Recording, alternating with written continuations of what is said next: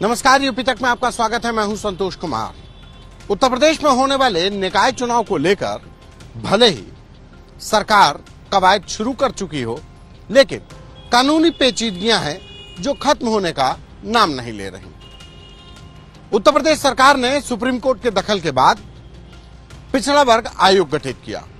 पिछड़ा वर्ग आयोग ने अपनी रिपोर्ट सरकार को सौंपी और आयोग की रिपोर्ट के आधार पर उत्तर प्रदेश के नगर विकास विभाग ने आरक्षण की अंतिम सूची जारी की।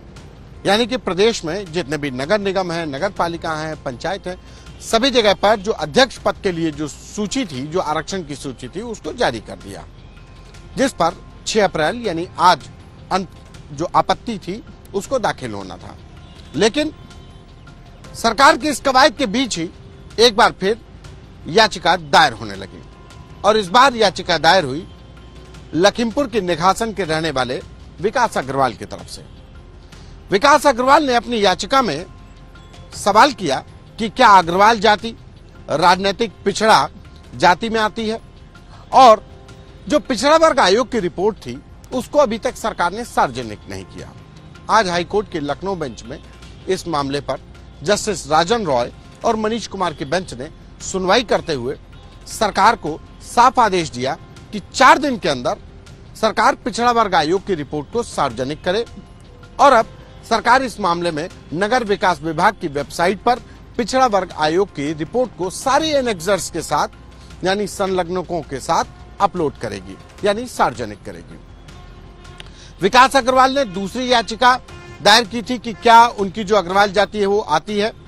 पिछड़ा वर्ग पिछड़ा वर्ग की जो राजनीतिक तौर पर जो पिछड़ी जातियाँ हैं, इस पर सरकार की तरफ़ से जवाब दाखिल किया गया कि नहीं। उत्तर प्रदेश में अग्रवाल जाति राजनीतिक पिछड़ी जातियों में नहीं आती है। और इसके साथ ही सरकार ने एक सूची भी कोर्ट को दी है, जिसमें उन जातियों की सूची दी है जो राजनीतिक तौर पर पिछड़ी थी। विकास अग्रवाल की इस याचिका पर तो सुनवाई पूरी हो गई, याचिका डिस्पोज ऑफ़ हो गई। लेकिन वही दूसरी तरफ़ हाईकोर्ट की लखनऊ बेंच में मुरादाबाद से भी एक याचिका पड़ी है, जिस पर हाईकोर्ट की लखनऊ बेंच इसी मामले में फिर कल सुनवाई करेगी। यानी कि निकाय चुनाव में जो पिछड़ा वर्ग आयोग की रिपोर्ट है, उसी के आधार पर एक और जो याचिका दायर की गई है, मुरादाबाद के सुहेल खान की तरफ़ से, उस पर कल सुनवाई करेगी।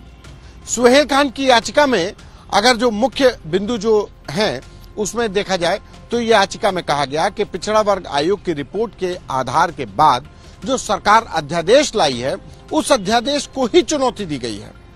अब इस मामले में हाईकोर्ट के लखनऊ बेंच को कल सुनवाई करनी है।